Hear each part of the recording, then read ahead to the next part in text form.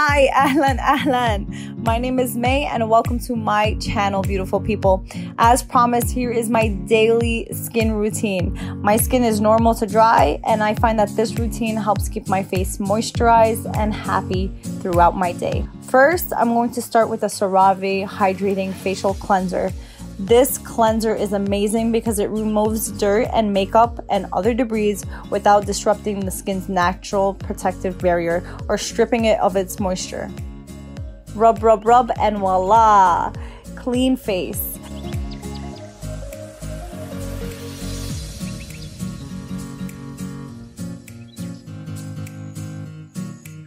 Pat your face gently, no need to abuse your face with a towel.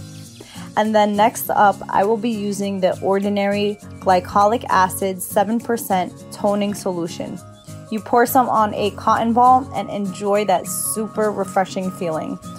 This offers mild exfoliation to boost radiance and visibly restores clarity.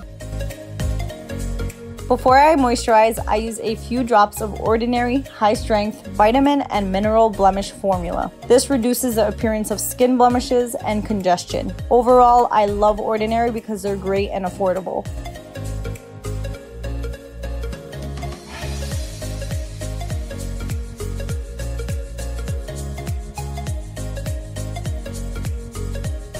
Now it's time to moisturize with Cetaphil Daily Hydrating Lotion dab, dab, dab, and rub, rub, rub.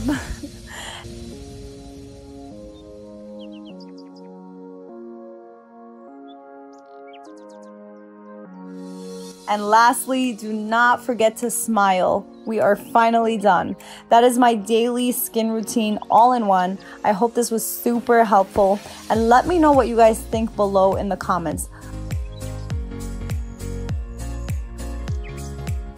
Love you all as always and see you in the next video.